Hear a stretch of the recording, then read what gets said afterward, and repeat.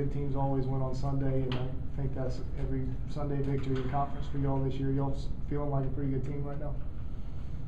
Yeah. um, I just think we're trying to compete, and it's, it's hard in the SEC to compete and, and win Sundays. And we've been very fortunate, and we've had good pitching and you know timely hitting and good, I mean, good defense. You know, we've been able to win on Sundays. Yeah. Do you s- sit there though and look, look at that record at this point, thirty-five eight overall, in seventeen out of twenty-one games in the SEC and just kinda go, you know, how, how are we doing this? Uh, I mean, we don't really look at the record too much, we don't really talk about it. Um, you know, it's just one of those things, you know, I mean, it never really comes up, but, I mean, we're, we're playing, playing good baseball right now, and, I mean, even though everybody's not really clicking on the same page, you know, winning games, and I, mean, I think it's important.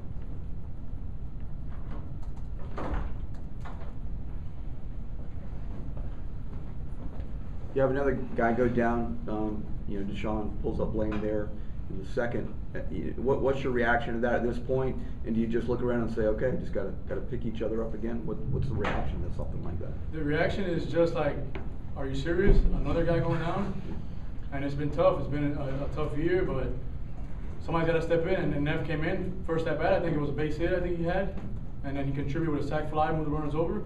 So, I mean, we've got guys, but we got to try to stay healthy from here on out because I don't think we have any guys left.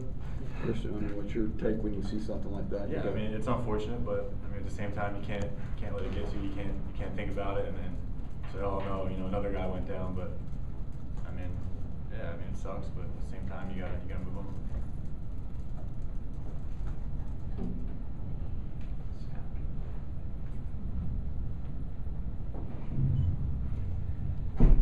You guys are winning a lot of games, but right now, so is Florida and Vandy. I think right now, all three teams are tied top eight, seventeen four records. I mean, what's that mean on a day-to-day basis for you guys, knowing that, uh, even if you guys win, you're not really gaining any ground on anyone else, there's only two main competitors in the division. I, I think we just gotta, we control our own destiny. And we just gotta continue to play well and not even look at the standings or none of that. At the end of the year, it'll all figure itself out. All we gotta do is keep playing hard and, and trying to keep getting every win we can in the SEC.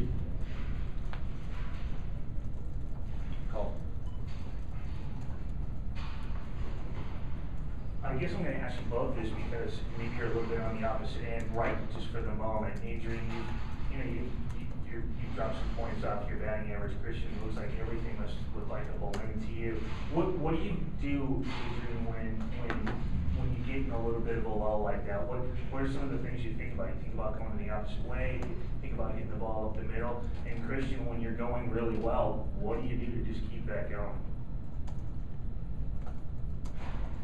You just got, I, I just try to keep swinging and, and try to help the team win because that's all that matters at the end of the day is the win.